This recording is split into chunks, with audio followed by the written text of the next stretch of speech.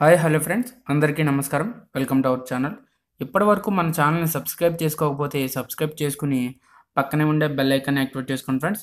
అప్పుడే నేను చెప్పే ప్రతి అప్డేట్ మీకు తెలియడం జరుగుతుంది. సో రాబోయే జనవరిలో కొత్త డిఎస్సి వస్తుందని మన అందరికీ తెలిసిన విషయమే. కాకపోతే ఈ డిఎస్సికి సంబంధించి ఫస్ట్ టెట్ పెడతారా పెట్టరా? లేకపోతే టెట్ నోటిఫికేషన్ ఇవ్వకుండా యథాతథంగా టెట్ కమ్ టీఆర్టీఏ పెడతారా? దీని గురించి పూర్తిగా తెలుసుకుందాం ఫ్రెండ్స్. తప్పనిసరిగా ఈ వీడియో నచ్చినట్లయితే లైక్ చేయండి. అలాగే మీ ఫ్రెండ్స్ కూడా షేర్ చేయండి ఫ్రెండ్స్. అప్పుడే నేను చెప్పే ప్రతి అప్డేట్ మీకు తెలియడం జరుగుతుంది. సో ఏంటంటే డిఎస్సి గురించి ఒక్కొక్క రోజు ఒకలా వార్తలు అయితే వస్తున్నాయి. ఒక్కొక్కసారి టెట్ అంటున్నారు ఒక్కోసారి టెట్ కమ్ టీఆర్టీ అంటున్నారు.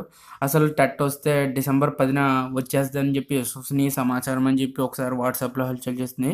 సో వీటన్నిటి గురించి ఒక క్లియర్గా ఇన్ఫర్మేషన్ గ్యాదర్ చేసుకున్నట్లయితే మనం ఫస్ట్ ఆఫ్ ఆల్ ఒకసారి విద్యాశాఖ మంత్రి ఆదిమూలపు సురేష్ గారు త్వరలోనే టెట్ వెల్లడిస్తున్నట్లయితే ఒకసారి చెప్పడం జరిగింది. ఒ- ఒకసారి మీకు ఆ క్లిప్ అయితే చూపించడం జరుగుతుంది ఫ్రెండ్స్. ఇక్కడ చూడండి ఫ్రెండ్స్ త్వరలోనే టెట్ అని చెప్పి మంత్రి సురేష్ గారు చెప్పడం జరిగింది. త్వరలోనే టెట్ పరీక్ష నిర్వహించనున్నట్లు విద్యాశాఖ మంత్రి ఆదిమూలపు సురేష్ వెల్లడించారని చెప్పి మనకు ఒక ఆర్టికల్ అయితే పబ్లిష్ చేశారు. డిఎస్సి రెండు వేల ఎనిమిదికి సంబంధించి ఉద్యోగాల భర్తీలో సమస్యలు అయితే ఉన్నాయని అవన్నీ క్లియర్ చేశాక అలాగే ప్రైవేట్ కాలేజీలో ఫీజుల నియంత్రణ కోసం కమిటీ కూడా ఏర్పాటు చేశామని ఈ ఆర్టికల్ అయితే చెప్పడం జరిగింది.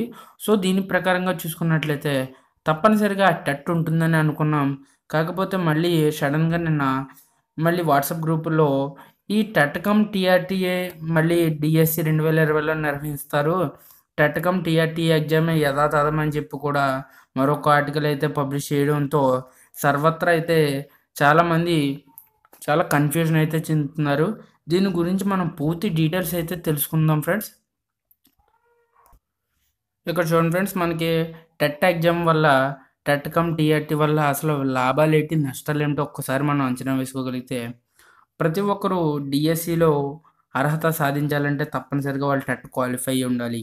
సో టెట్లో ఎన్ని మార్కులు సంపాదిస్తే డిఎస్సికి మనం అంతలా పోటీ పడవచ్చు అని చెప్పి మనందరికీ తెలిసిన విషయమే. సో ప్రతి ఒక్కరూ టెట్లో అత్యధిక మార్కులు సాధించాలి అనుకుంటారు. కాకపోతే అనూహ్యంగా రెండు వేల పద్నాలుగు డిఎస్సి నోటిఫికేషన్ సంబంధించి ఐ మీన్ దీని తాలూకు ఎగ్జామ్ రెండు వేల పదిహేనులో జరిగింది. కాకపోతే మనం దీన్ని రెండు వేల పద్నాలుగు డిఎస్సిగా వర్ణించుకోవచ్చు సో అప్పట్లో రెండు వేల పద్నాలుగు డిఎస్సిలో టెట్కమ్ టీఆర్టీ అనే కొత్త ఎగ్జామ్ని అయితే ప్రవేశపెట్టారు. అంటే టెట్ని డిఎస్సిని కలిపి ఒకే ఎగ్జామ్లో సింగిల్ ఎగ్జామ్గా పెట్టడం జరిగింది. సో ఇదైతే దీనివల్ల చాలా అంటే చాలా న్యాయపరమైన సమస్యలు ఎదుర్కొన్నాయి. అలాగే మన ఎన్సీఆర్టీ రూల్ ప్రకారం ఏడాదికి రెండు సార్లు టెట్ అయితే నిర్వహించాలి అని చెప్పి ఎన్సీఆర్టీ రూల్ అయితే ఉంది. మన సుప్రీంకోర్టు కూడా డిఎస్సి ఎగ్జామ్ కన్నా ముందు ఫస్ట్ ఆఫ్ ఆల్ టెట్టే పెట్టాలి తర్వాత డిఎస్సి ఎగ్జామ్ కండక్ట్ చేయాలి. డిఎస్సి ఎగ్జామ్ రాయాలంటే టెట్ అర్హత కంపల్సరీ అని చెప్పి సుప్రీంకోర్టు కూడా తీర్పిచ్చింది. ఇది కూడా మనందరికీ తెలిసిన విషయమే.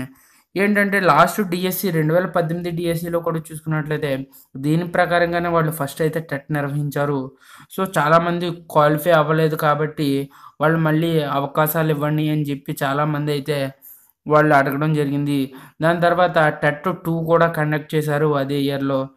టెట్ టూ కండక్ట్ చేశాక సుప్రీంకోర్టు మళ్ళీ అనూహ్యంగా తీర్పు ఇవ్వడంతో సుప్రీంకోర్టు ఏమని తీర్పిచ్చిందంటే బీఈడీ చేసిన వాళ్ళు కూడా ఎస్జిటి పోస్టులకు ఎలిజిబుల్ అని చెప్పి ఒక సుప్రీంకోర్టు తీర్పు అయితే ఇచ్చింది.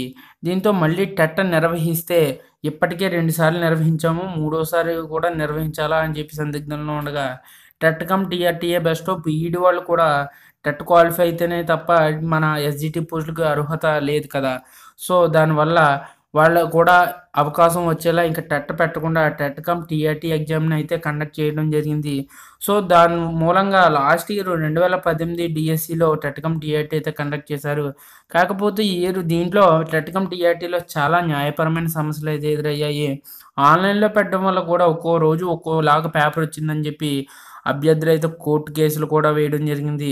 సో దీని ద్వారా టెట్కమ్ టీఆర్టీకి విముక్తి పలికినట్టే అనిపించింది. కాకపోతే నేను అనూహ్యంగా వాట్సాప్ గ్రూపుల్లో నేను ఇందాక చూపించిన టెట్కమ్ టీఆర్టీ యథాతథమంటున్నారు. సో అదైతే అనఫీషియల్ ఫ్రెండ్స్ అక్కడ గమనించండి వాళ్ళు విశ్వసనీయ సమాచారం అంటున్నారు. అంటుంది అంటుంది అంటున్నారు కానీ ఖచ్చితంగా అని చెప్పలేదు వాళ్ళు. సో దీన్ని బట్టుకుని మనం నమ్మకూడదు. ఎందుకంటే మనకి విద్యాశాఖ మంత్రి గారు టెట్టో త్వరలోనే పెడతామని చెప్పి అందరి ముందు చెప్పడం జరిగింది. ఈ జగన్మోహన్ రెడ్డి గారి ప్రభుత్వం అనుకున్నది అనుకున్నట్లుగా టైం కల్లా చేస్తున్నారు కాబట్టి తప్పనిసరిగా టెట్ ఎగ్జామ్ అయితే పెట్టాకనే డిఎస్సి ఎగ్జామ్ అయితే పెడతారు. ఇందులో ఎటువంటి సందేహం లేదని అనుకోవచ్చు ఫ్రెండ్స్. ఎందుకంటే ఆల్రెడీ మనకి ఎక్కడికి వెళ్ళినా త్వరలో టెట్ అని చెప్తున్నారు.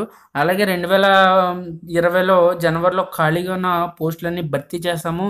త్వరలోనే నోటిఫికేషన్ కూడా ఇస్తామంటున్నారు కాబట్టి. సో ఖచ్చితంగా మరింత మంది అవకాశం కలిగించాలనే విధంగా ఫస్ట్ టెట్ పెట్టాక తర్వాతే డిఎస్సి పెడతారని చెప్పి చాలామంది అయితే అనుకుంటున్నారు. చూద్దాం ఫ్రెండ్స్ ఏదేమైనా ప్రజెంట్ మాత్రం ఇంకా అఫీషియల్గా ఎటువంటి ఇన్ఫర్మేషన్ అయితే రాలేదు. ఇవన్నీ మనం అనుకునే ఊహాగానాలు మాత్రమే. సో ప్రతి ఒక్కరూ ప్రిపరేషన్ మాత్రం కొనసాగించండి ఫ్రెండ్స్ తప్పనిసరిగా బాగా పోటీ పడండి. Thank you friends watching this channel and please do subscribe